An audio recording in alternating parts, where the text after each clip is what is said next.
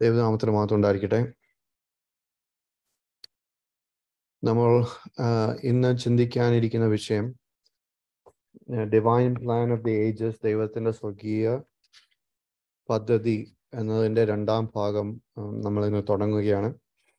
അപ്പം ഈ വിഷയവുമായി ബന്ധപ്പെടുത്തി നമ്മൾ ഇന്ന് ചിന്തിക്കുന്നത് രണ്ടാം ലോക ലോകത്തെക്കുറിച്ചും മൂന്നാം ലോകത്തെക്കുറിച്ചുമാണ്. നമ്മൾ കഴിഞ്ഞ ചില ക്ലാസ്സുകളായിട്ട് ചിന്തിച്ചത് ആദ്യത്തെ ആ ഒന്നാം ലോകത്തെ സംബന്ധിച്ചായിരുന്നു അല്ലെ? അപ്പം ഇനിയും നമ്മൾ ചിന്തിക്കാൻ പോകുന്നത് രണ്ടാമത്തേതായതും മൂന്നാമത്തേതായതുമായിരിക്കുന്ന ആ ലോകങ്ങളെ സംബന്ധിച്ചാണ്. അതിൽ ആദ്യമേ നമ്മൾ ചിന്തിക്കുന്നത് ആ രണ്ടാമത്തെ ലോകത്തെ സംബന്ധിച്ചായിരിക്കുന്നു.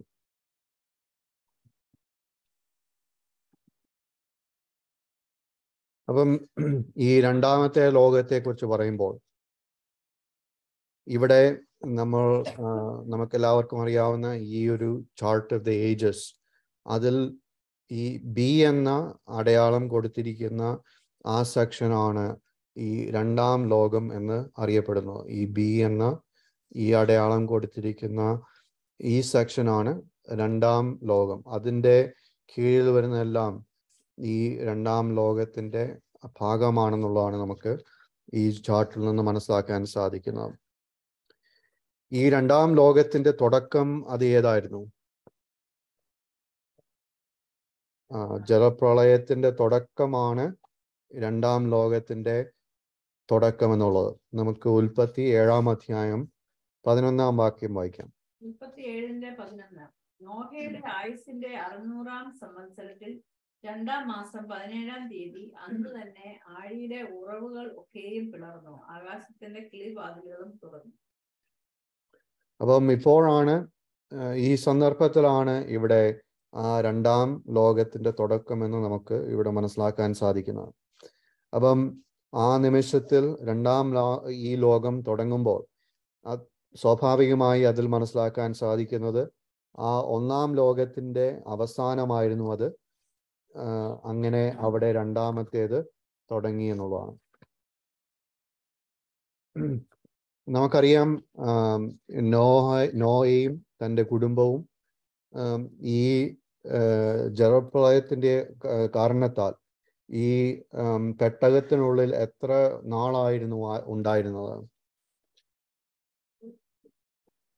ഇല്ല. മഴ പെയ്തത് നാൽപ്പത് ദിവസവും നാൽപ്പത് രാത്രിയുമായിരുന്നു. പക്ഷേ ഇവർ പെട്ടകത്തിനുള്ളിലിരുന്നത് എത്ര എത്ര നാളുകളായിരുന്നു?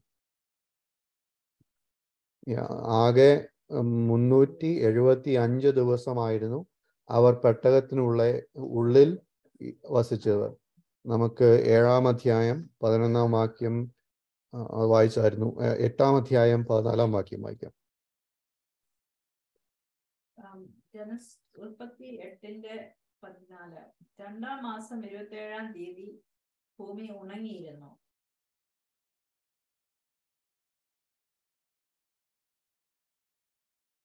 നമ്മളിവിടെ ആ, ഒരു തുടക്കത്തിന്റെ കാര്യത്തെ സംബന്ധിച്ച് ഏഴാം അധ്യായം പതിനൊന്നാം വാക്യം വായിക്കുമ്പോൾ അവിടെ നമുക്ക് കാണാൻ സാധിക്കുന്നു.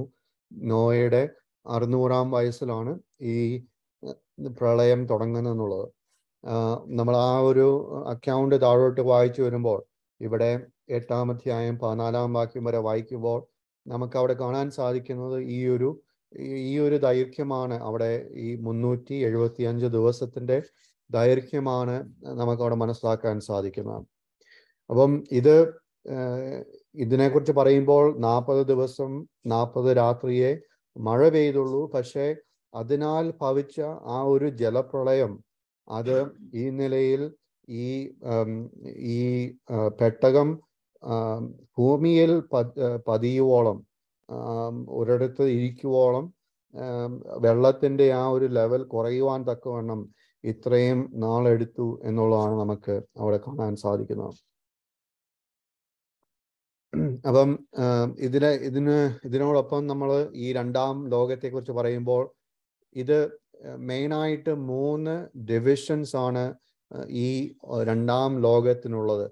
ത്രീ ഡിവിഷൻസ് എന്ന് പറയുമ്പോൾ അത് നമ്മൾ അതിനെ കൂടുതൽ എളുപ്പത്തിൽ റിഫർ ചെയ്യുന്നത് കാലങ്ങൾ ഏജസ് എന്നുള്ള ഈ ഒരു വാക്കാണ്?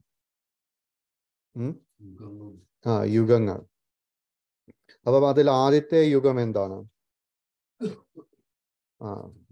പിതൃയുഗം അല്ലെങ്കിൽ പേട്രിയാർക്കോ ഏജ് അപ്പം ഇവിടെ ഈ ഒരു യുഗത്തെ എന്താണ് ഒരു അതിൽ അതിനെ വിശ ആ വിശേഷിപ്പിക്കുന്നത് എന്താണ്?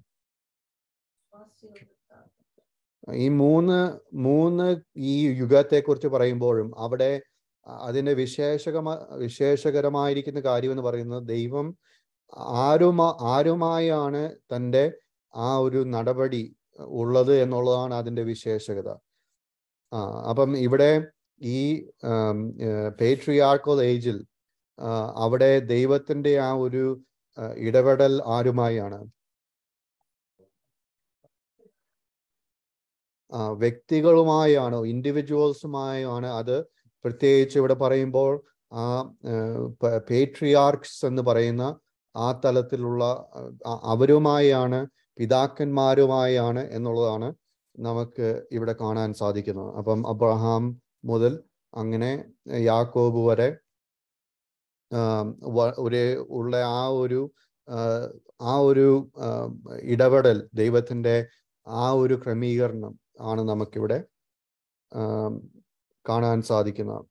സോറി അബ്രഹാം മുതലല്ല അതിനു മുമ്പേ തന്നെ നോയയുടെ കാലം മുതലുള്ള ആ ഒരു ഇടപെടലാണ് നമുക്ക് ഇവിടെ കാണാൻ സാധിക്കുന്നത്. ഇനി രണ്ടാമത്തെ യുഗം എന്താണ്? യഹൂദ യുഗം എന്നുള്ളതാണ്. ജൂവിഷ് ഏജ് ഇതിൽ ദൈവത്തിന്റെ ആ ഒരു ഡീലിംഗ് ദൈവത്തിന്റെ ആ ഇടപെടൽ ആരുമായാണ്? ഇവിടെ യാക്കോബിന്റെ പന്ത്രണ്ട് മക്കളായിരിക്കുന്നവരുമായാണ് ആ ദൈവത്തിന്റെ ഇടപെടൽ. അപ്പം പന്ത്രണ്ട് മക്കൾ എന്ന് പറയുമ്പോൾ അവർ അവർ ആരായിത്തീർന്നു? ആ പന്ത്രണ്ട് ഗോത്രങ്ങളായി തീർന്നു പന്ത്രണ്ട് ഗോത്രങ്ങൾ എന്ന് പറയുമ്പോൾ ഇസ്രായേൽ എന്നുള്ള ആ ഒരു രാജ്യത്തിന്റെ പന്ത്രണ്ട് ഗോത്രങ്ങളായിരുന്നു അല്ലെ? അപ്പം ആ നിലയിൽ ദൈവത്തിന്റെ ഡീലിംഗ് അവിടെ ഈ തന്റെ ജനമായിരിക്കുന്ന ആ ഇസ്രായേൽ ഗോത്രവുമായി ഉള്ള ഇടപെടലായിരുന്നു. ഈ യഹൂദ ഗോ യഹൂദ യുഗത്തിൽ നമുക്ക് മനസ്സിലാക്കാൻ സാധിക്കണം. ഇനിയും മൂന്നാമത്തെ യുഗം അത് സുവിശേഷ യുഗം എന്നുള്ളതാണ്. അപ്പം ഇവിടെ ആരുമായാണ് ദൈവത്തിന്റെ ഈ ഒരു ഇടപെടൽ? ക്രിസ്തു മുഹാന്തരം ക്രിസ്തുവിൽ നിന്ന് തുടങ്ങി ഈ സുവിശേഷ യുഗത്തിൽ ക്രിസ്തുവിലായിരിക്കുന്ന എല്ലാവരും ക്രിസ്തുവിന്റെ അനുയായികളായിരിക്കുന്ന എല്ലാവരും തന്നെയുമാണ് ദൈവത്തിന്റെ ആ ഒരു വിശുദ്ധ ജനം ദൈവവും ദൈവം അവരുമായുള്ള ആ ഒരു ഇട ഇടപെടലാണ് ഇവിടെ സുവിശേഷ യുഗത്തിൽ എന്നുള്ളതാണ് നമുക്ക് ഇവിടെ മനസ്സിലാക്കാൻ സാധിക്കുന്നത്. അപ്പം അങ്ങനെ ഈ മൂന്ന് യുഗങ്ങളാണ് ഈ രണ്ടാം ലോകത്തിന്റെ കീഴിൽ വരുന്നത്.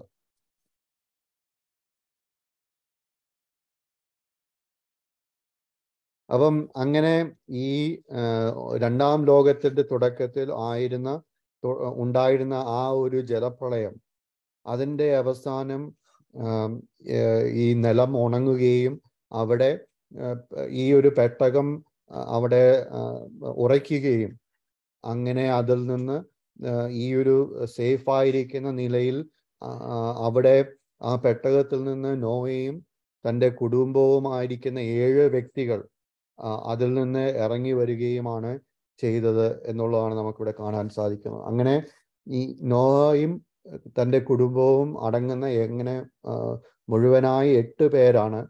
ഈ ഒന്നാം ലോകത്തിൽ നിന്ന് ദൈവം രക്ഷിച്ച് രണ്ടാം ലോകത്തിലേക്ക് കൊണ്ടുവരുന്നത്. രണ്ട് പത്രോസ് രണ്ടാം അധ്യായം അഞ്ചാം വാക്യം നമുക്ക് വായിക്കാം.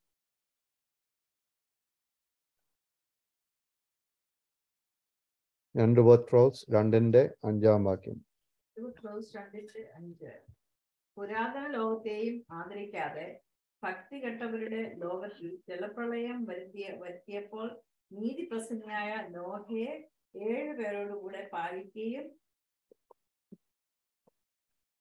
യാ അപ്പം ഇവിടെ നോഹയും ഏഴ് പേരും എന്നുള്ളതാണ് നമുക്കിവിടെ അപ്പോസ്തലിന്റെ വാക്കുകളിൽ നിന്ന് മനസ്സിലാക്കാൻ സാധിക്കുന്നത്.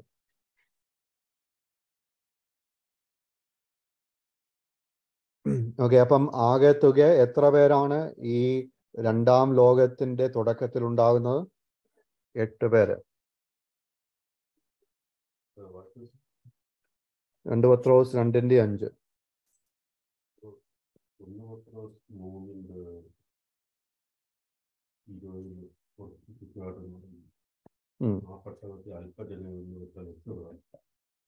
വെള്ളത്തിൽ കൂടെ അത് വളരെ നല്ലൊരു വാക്യമാണ് ഇവിടെ വളരെ വ്യക്തമായി എട്ട് പേരെന്ന് ഇവിടെ രക്ഷപ്രാപിച്ചവരായി എട്ട് പേരെയാണ് ഇവിടെ പത്രോസ് ഇവിടെ ചൂണ്ടിക്കാണിക്കുന്നത്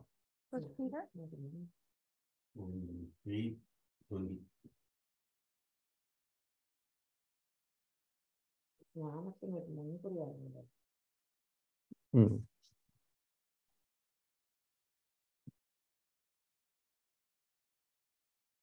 ഇനിയും ഇതോടൊപ്പം തന്നെ ഉൽപ്പത്തി ഒമ്പതാം അധ്യായത്തിലേക്ക് നമുക്ക് പോവാം ഉൽപ്പത്തി ഒമ്പതാം അധ്യായം പതിനെട്ടും പത്തൊമ്പതും വാക്യങ്ങൾ.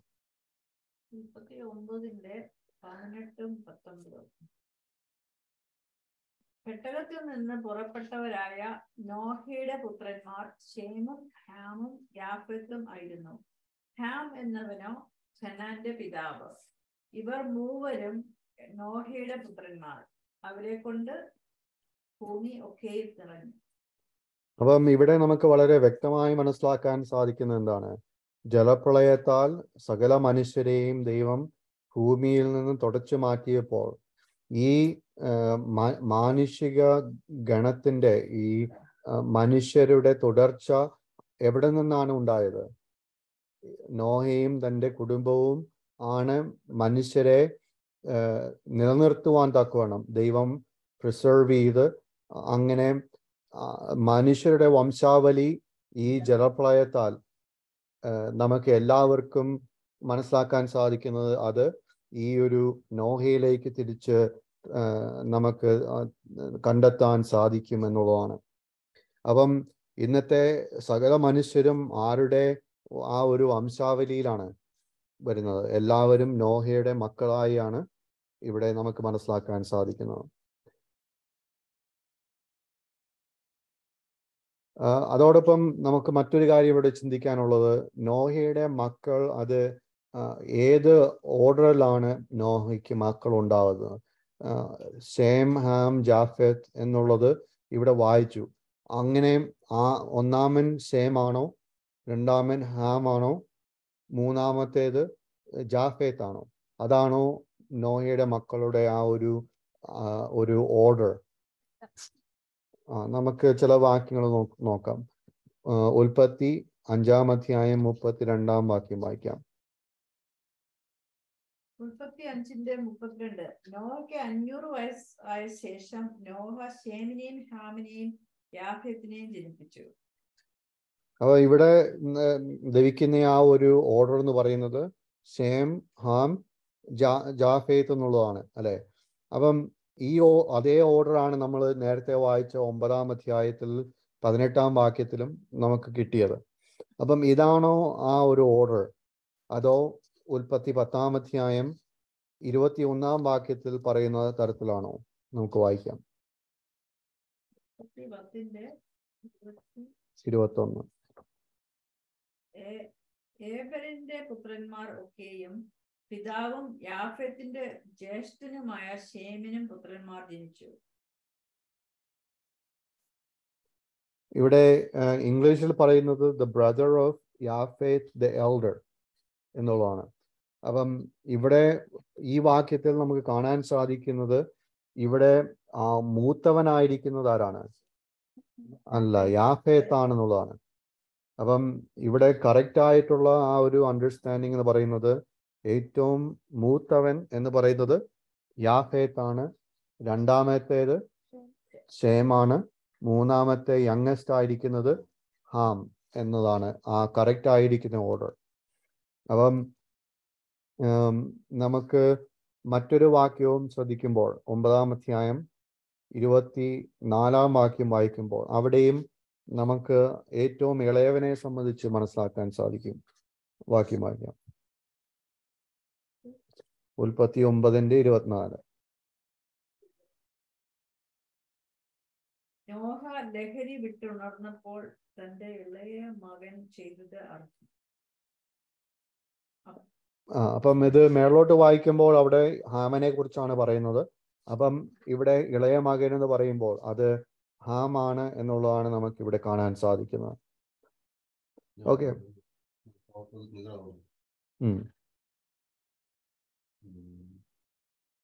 രണ്ടുപേരും അതാ. മറ്റേയാൾ മറ്റേയാളുടെ പേര് പറയുന്നില്ല. പക്ഷെ ആളാണ്. അവന് ആ, അങ്ങനെ അങ്ങനത്തെ ഒരു ദോഷം ചെയ്തതായിട്ടാണ്. അപ്പം നമ്മൾ ഈ വാക്യങ്ങൾ കൂട്ടി നോക്കുമ്പോൾ നമുക്കിവിടെ മനസ്സിലാക്കാൻ സാധിക്കുന്നത് യാഫേത്ത് ഏറ്റവും മൂത്ത സന്തതിയും ഇടയ ഇതിന്റെ ഇതിന് നടുവിൽ ആ, ഏറ്റവും ഇളയവനായിരിക്കുന്നത് ഹാമും ആണെന്നുള്ളതാണ്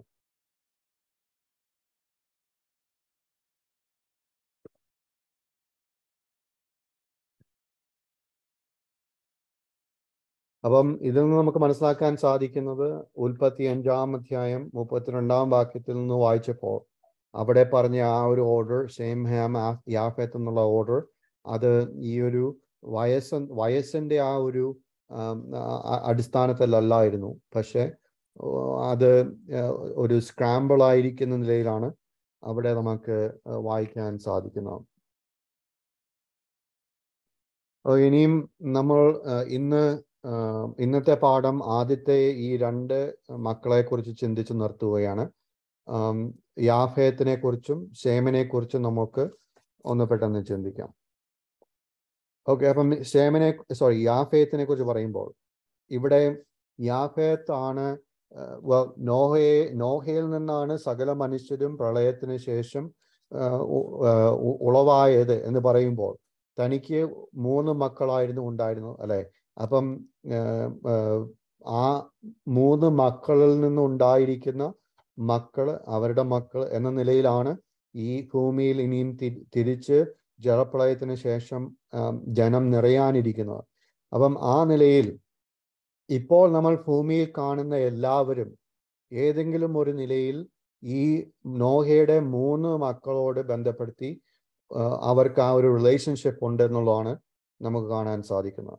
അപ്പം നമ്മൾ ഇനിയും ചിന്തിക്കാൻ പോകുന്നത് യാഫയത്ത് ഈ ലോകത്തിൽ നമുക്ക് ഇപ്പോൾ ചുറ്റും കാണാൻ കഴിയുന്ന ഈ ലോകത്തിൽ യാഫയത്ത് ആരായിരിക്കും? ആ ഏത് ജനത്തിന്റെ പിതാവായിരിക്കും യാഫേത്ത്. ഏത് ജനത്തിന്റെ പിതാവായിരിക്കും ഷേം അതുപോലെ തന്നെ അടുത്ത ക്ലാസ്സിൽ ഏത് ജനത്തിന്റെ പിതാവായിരിക്കും ഹാം എന്നുള്ള ആ ഒരു ചിന്തയാണ് നമുക്ക് ഇനിയും ഉള്ളത്. അതിലേക്കാണ് നമ്മൾ ഇനിയും കടക്കുന്നത്. അപ്പം ഒന്നാമതായിട്ട് ഏറ്റവും മൂത്തവനായിരിക്കുന്ന യാഫേത്ത്. യാഫേത്തിനെ കുറിച്ച് നമുക്ക് ഒമ്പതാം അധ്യായം ഉൽപ്പത്തി ഒമ്പതാം അധ്യായം ഇരുപത്തി ഏഴാം വാക്യത്തിൽ വായിക്കാം. മുപ്പത്തി ഒമ്പതിന്റെ ഇരുപത്തി ഏഴ് ദൈവം യാഫേത്തിനെ വർദ്ധിക്കട്ടെ വർദ്ധിപ്പിക്കട്ടെ. അവൻ ഷേമിന്റെ കൂടാരങ്ങളിൽ വസിക്കും. കനാൻ അവരുടെ ദാസനാകും എന്ന് ഞാൻ എന്നും അവൻ പറഞ്ഞു. ഓക്കെ അപ്പം ഇവിടെ പറയുന്നത് യാഫേത്തിനെ കുറിച്ച്. താൻ വർദ്ധിക്കട്ടെ എന്നുള്ളതാണ് ദൈവം കൽപ്പിക്കുന്നത് അല്ലെ? അപ്പം അതോടൊപ്പം തന്നെ താൻ ശേം ശേമിന്റെ കൂടാരങ്ങളിൽ വസിക്കുകയും അതുപോലെ തന്നെ ഈ കനാൻ തനിക്ക് ആരായിരിക്കും? വേലക്കാരായിരിക്കും എന്നുള്ളതാണ് അവിടെ പറയുന്നത് അല്ലേ? ഇംഗ്ലീഷിൽ പറയുന്നത് ഷാ ബി ഹിസ് സെർവൻസ് എന്നാണ് എന്നാണ്. അപ്പം ഇവിടെ കനാൻ ആരുടെ ആരുടെ വംശാവലിയാണ്? അല്ലെങ്കിൽ കനാൻ ആരാണ്? അത് അത് ഷേമാണ് കനാനായിത്തീരുന്നത് അല്ലെ? അപ്പം നമുക്കിവിടെ കാണാൻ സാധിക്കുന്നത് ഈ ഒരു പ്രോഫസി ഇത് തന്റെ പിതാവായിരിക്കുന്ന നോഹ ജന തന്റെ മക്കളെ കുറിച്ച് പറയുന്ന പ്രോഫസിയാണിത് അതിൽ ഇവിടെ യാഫേത്തിനെ കുറിച്ച് ആ, ആ, നോ യഹോവ പറയുന്ന ഈ പ്രോഫസി അത് റെപ്രസെന്റ് ചെയ്യുന്നത് ഈ യാഹേത്തിന്റെ വംശാവലി എന്ന് പറയുന്നത് അതൊരു റൂളിംഗ് ആയിരിക്കുന്ന ഡോമിനേറ്റിംഗ് ആയിരിക്കുന്ന ഒരു ജനമായി തീരുമെന്നുള്ളതാണ്. മറ്റുള്ളവരെ അടച്ചു വാഴുന്ന ഒരു വംശാവലിയായി തീരും എന്നുള്ള ആ ഒരു പ്രോഫസിയാണ് ഇവിടെ പറയുന്നത്. അപ്പം അങ്ങനെയാണെങ്കിൽ ഈ ലോകത്തിൽ ഏത് ജന ജനമാണ് ഈ യാഫേത്തിന്റെ വംശാവലി? Well നമ്മൾ ഇവിടെ കാണുന്നത് ഈ ലോകത്തിന്റെ ഹിസ്റ്ററി നോക്കുമ്പോൾ മറ്റ് മനുഷ്യരെ അടച്ചു വാണ ഏറ്റവും അധികം ആ ഒരു ആ ഒരു പദവിയിൽ ഇരുന്നത് അത് കാക്കേഷ്യൻ എന്നുള്ള ആ ഒരു റേസ് ആണ്. എന്ന് പറഞ്ഞാൽ വൈറ്റ് സ്കിൻഡ് അല്ലെങ്കിൽ ആ ഒരു യൂറോപ്യൻ ആ, ആ, ആ, യൂറോപ്യൻ ആം, ആ, Huh? ആം, ഒരു ഒറിജിൻ ആ ആ ഒരു ആ, ആ, ഗോത്രം ആ ഒരു ഗണത്തെയാണ് ഇവിടെ ഈ യാഫേത്തിന്റെ വംശാവലി എന്ന് പറയുന്നത്. അപ്പം ഈ ഒരു യൂറോപ്പിൽ നിന്ന് തുടങ്ങി അവർ നോർത്ത് അമേരിക്കയും സൗത്ത് അമേരിക്കയും ഒക്കെ അവർ വാണു അല്ലെങ്കിൽ അവർ അവിടേക്കൊക്കെ സ്പ്രെഡ് ചെയ്തു എന്നുള്ളതാണ് നമുക്ക് മനസ്സിലാക്കാൻ സാധിക്കുന്നത്. അതോടൊപ്പം തന്നെ അനേകം ഈ ലോകത്തിൽ അനേകം രാജ്യ രാജാക്കന്മാർ ഈ ഈ ഒരു വംശാവലിയിൽ നിന്നുള്ളതാണ്. അതുപോലെ തന്നെ ഈവൻ ഇപ്പോൾ ഇപ്പോഴെന്ന് അല്ല ഹിസ്റ്ററി നോക്കുമ്പോൾ ഏറ്റവും അധികം ഈ ലോകത്തിന്റെ ബിസിനസ് ലീഡേഴ്സും പോളിറ്റീഷ്യൻസും സ്പോർട്സ് ഐക്കോൺസ് ഒക്കെയും തന്നെയും ഈ നിലയിൽ ഈ ഒരു ഈ ഒരു കൂട്ടത്തിൽ വരുന്ന ഒരാ വരുന്നവരാണ് എന്നുള്ളതാണ് നമുക്ക് മനസ്സിലാക്കാൻ സാധിക്കുന്നത്. ബേസിക്കലി ഈ ഒരു കൂട്ടത്തിന്റെ ആ ഒരു ക്യാരക്ടറിസ്റ്റിക് എന്താണ്? അവരുടെ ആ ഒരു ഡിഫൈനിങ് ആസ്പെക്ട് എന്താണ്? അത് ഈ ഒരു ഡോമിനേറ്റിംഗ് ആയിരിക്കുന്ന ഒരു റൂളിംഗ് ആയിരിക്കുന്ന ഒരു ഒരു ഒരവസ്ഥ അതിനെയാണ് ഇവിടെ ഇവരുമായി താരതമ്യം ചെയ്തിരിക്കുന്നത്. ഇനിയും അടുത്ത അടുത്ത മകനിലേക്ക് നമുക്ക് പോകാം. രണ്ടാമത്തെ മകൻ ആരായിരുന്നു? ശേമൻ ശേമനെ കുറിച്ച് ഇരുപത്തി ആറാം വാക്യത്തിൽ നമുക്ക് വായിക്കാം. ഉൽപ്പത്തി ഒമ്പതാം അധ്യായം ഇരുപത്തി ആറാം വാക്യം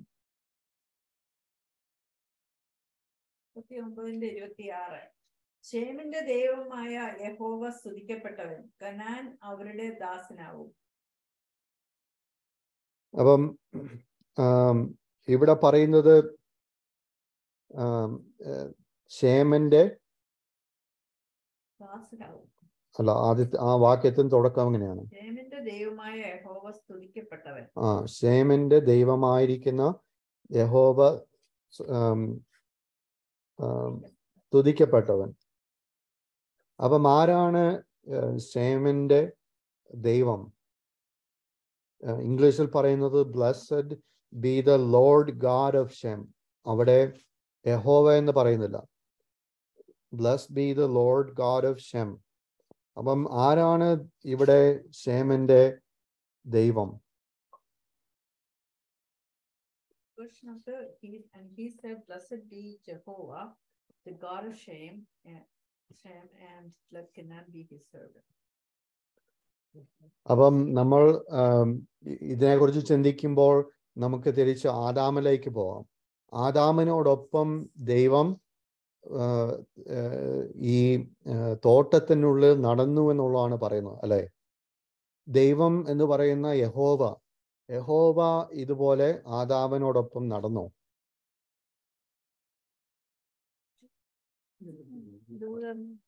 ആ അത് ദൈവത്തിന്റെ ദൂതനായിരുന്നു അവിടെ ആദാമനോടൊപ്പം ഉണ്ടായിരുന്നു അല്ലെ? അപ്പം ദൂതൻ എന്ന് പറയുമ്പോൾ ആരായിരിക്കണം? ആ ദൈവത്തിന്റെ ആ വാക്കായിരുന്ന ദൈവം ദൈവത്തെ ഏറ്റവും അധികം റെപ്രസെന്റ് ചെയ്യുവാനായി ഏറ്റവും സൂട്ടബിൾ ആയിരിക്കുന്ന ആ ഉചിതനം ഉചി- സോറി ഉചിതമായിരുന്ന ആ ലോഗോസ് എന്ന യേശുവാണ് അവിടെ ആദാമനോടൊപ്പം ഉണ്ടായിരുന്നത്. അപ്പം ഇതേ നിലയിൽ ഇവിടെയും ശേമന്റെ ദൈവമായിരിക്കുന്നവൻ എന്ന് പറയുമ്പോൾ ഇവിടെയും ഉദ്ദേശിക്കുന്നത് ഇതേ യേശുവിനെയാണെന്നുള്ളതാണ്. അപ്പം നമുക്കറിയാം യേശു ജനിച്ചത് മനുഷ്യനായി ജനിക്കുമ്പോൾ അത് ഏത് ആരുടെ ആ ഒരു ജിനിയോളജിയിലാണ് അല്ലെങ്കിൽ ഏത് ജ ഏത് രാജ്യത്തിലാണ് ഇവിടെ യേശു ജനിക്കുന്നത്? ഇസ്രായേലിലാണ് ഒരു ഒരു ഇസ്രായേലിയനായാണ് യേശു ജനിക്കുന്നത് അല്ലെ? ബെത്ലഹേമിൽ ഒരു ഇസ്രായേൽ മകനായാണ് അവിടെ യേശു ജനിക്കുന്നത്. അപ്പം ഇവിടെ നമുക്ക് കാണാൻ സാധിക്കുന്നത്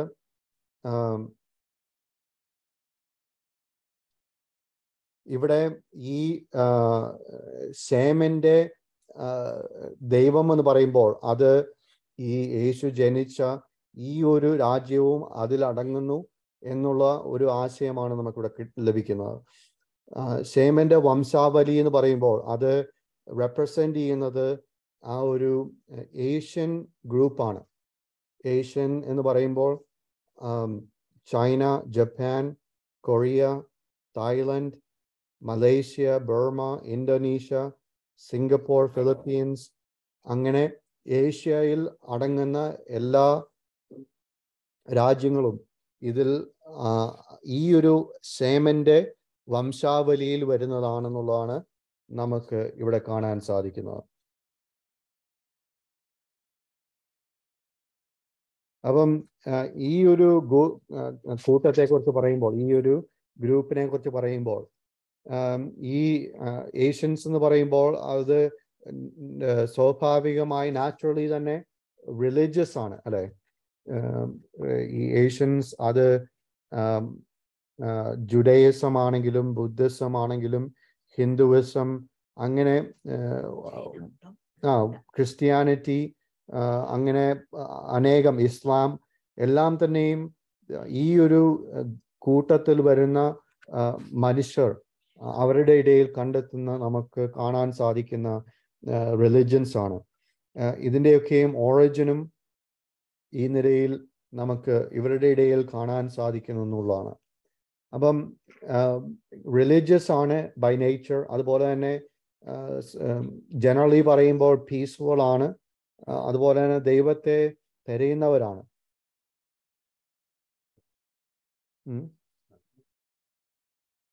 ചൈനയിലും റിലിജിയൻ ഉണ്ട്. കമ്മ്യൂണിസം ഉണ്ടാക്കി എന്നുള്ളതേ ഉള്ളൂ കുറെ ആളുകൾ അതിന് പുറത്തേക്കുന്നേ ഉള്ളൂ. ബാക്കിയുള്ളതെല്ലാം